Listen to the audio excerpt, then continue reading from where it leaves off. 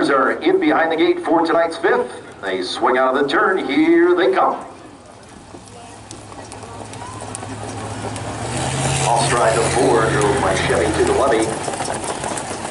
Leading the gate well as they trot on that first turn. Now off stride when MR it's cheaper to keep her. She goes on a break through the turn. Now inheriting the lead. That's the final joke. And the final joke is up by two. Now trotting in second is just Missy B. Trotting third, that's Hot Shot Jet.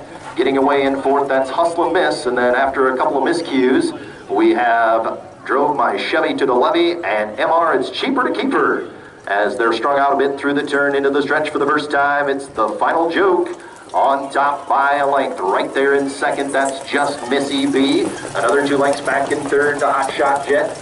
They trotted that opening quarter in 37 seconds. Uh, on the outside now, off stride again goes the filly. MR is cheaper to keep her as they trot through the turn now, edging to the outside from the pocket. That's just Missy B to challenge the final joke. Midway through the backstretch, the final joke looks at him and drives away. Opens up by two as they pass the three eighths. In third, that's Hot Shot Jet to the outside. Hustle and Miss makes a late rally as they trot through the turn. And going wide on the stretch and off stride went the final joke. The final joke off stride, and that leaves just Missy B to win it. Very tight for the second place. That'll be